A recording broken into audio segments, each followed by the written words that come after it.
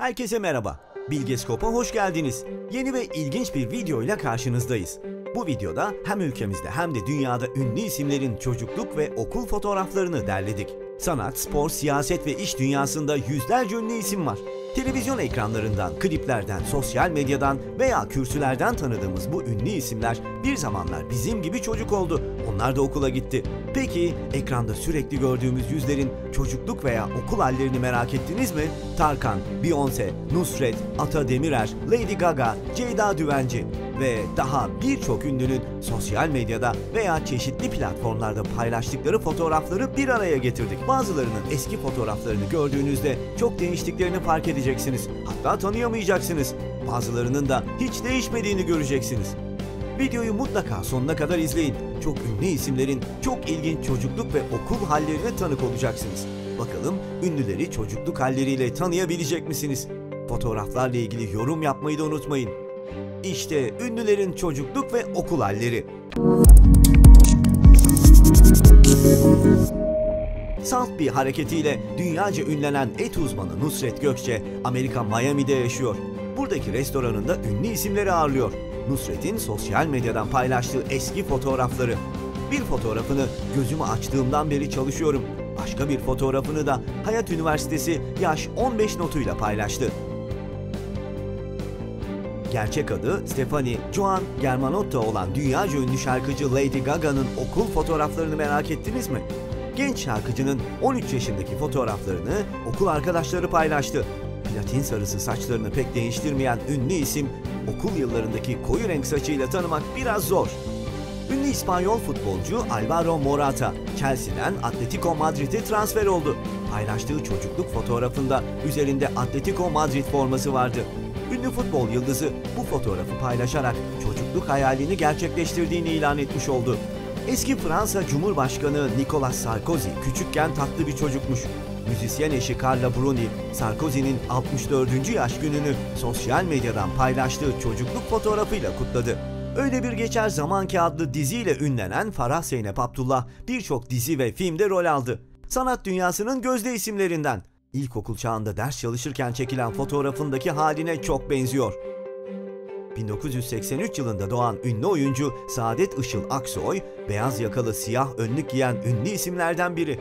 Küçükken sarışındım notuyla paylaştığı fotoğrafından onu tanımak biraz zor. Yerli ve yabancı film ve dizilerde rol alan genç oyuncu başı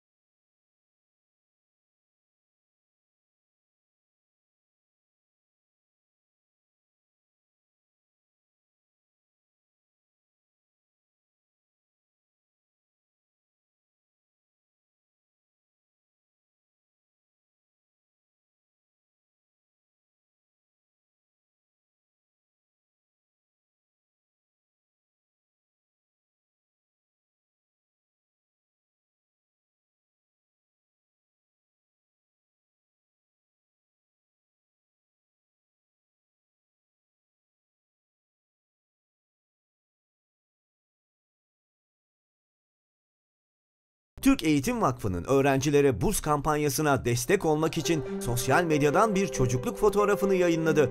Gerçekten